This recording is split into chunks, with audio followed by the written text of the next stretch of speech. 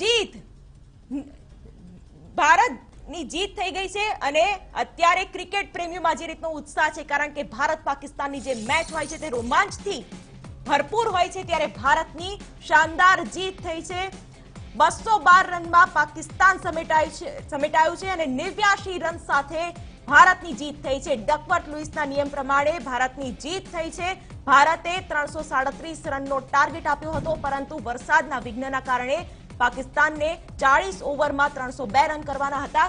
આ અશક્ય ટાર્ગેટ હતો. ભારતીય ક્રિકેટ ચાહકોએ ફટાકડા ફોડીને આ પહેલા જ ઉજવણીની શરૂઆત કરી દીધી હતી. સમગ્ર દેશમાં જશ્નનો માહોલ છે અને આ સાથે જ ભારતની જીત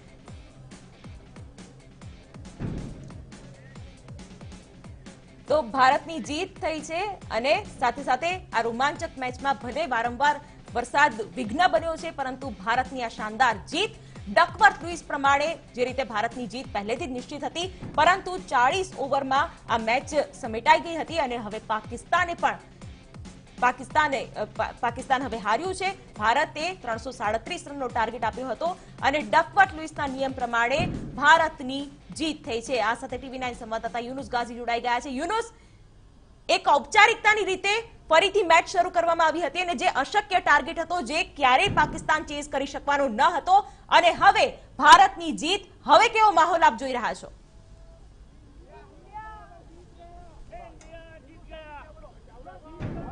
શિવાની એ જ માહોલ છે કે જે અગાઉ વરસાદ પડ્યો તે સમયે માહોલ હતો. વિજય નિશ્ચિત માનવામાં આવતો હતો અને આ ઉત્સાહ જે લોકોનો જે બૂમો છે, અવાજ છે, એ જ સૂચવે છે કે લોકોમાં કેટલો ઉત્સાહનો માહોલ છે.